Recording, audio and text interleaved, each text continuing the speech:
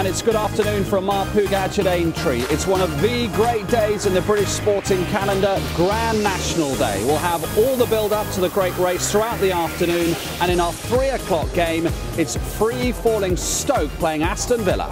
Welcome everyone to the Britannia Stadium. We've got a few stories here this year, haven't we? Everyone talking about Seabass and about Katie Walsh. So our three o'clock commentary just over 15 minutes away, Stoke against Aston Villa, and as John Murray told us earlier, John Villa have gone for a very bold lineup this afternoon. Yes, they have quite a call from Paul Lambert, the Villa manager for this one, bringing young forward Jordan Bowery into the team.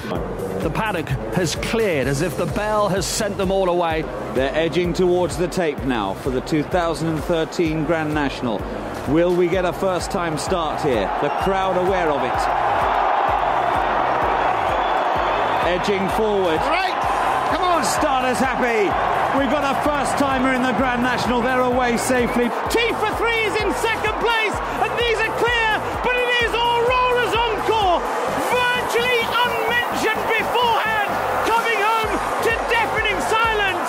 Ryan Mania, his first ever Grand National ride, and he's gone and won it. Oh my God! Harvey Smith, Harvey Smith and Sue Smith. Harvey Smith, let's grab Harvey. Yeah. Oh, I can't believe you're close to tears. Why not? You don't win a big one every day, do you? How good is that? Superb, absolutely superb. Left foot and true, past Guzan into the net, and it's Stoke 1, Aston Villa 1. He must score, he does score, Benteke wins the game for Aston Villa. Boos from the home supporters here at the Britannia Stadium.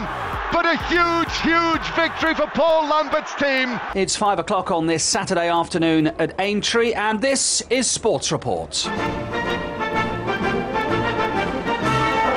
Mania, his first ever Grand National ride. Here's the man of the moment, Ryan Mania. His first ever Grand National ride has produced a win in the most famous steeplechase in the world. Congratulations, Thank you Ryan. very much. Thank you.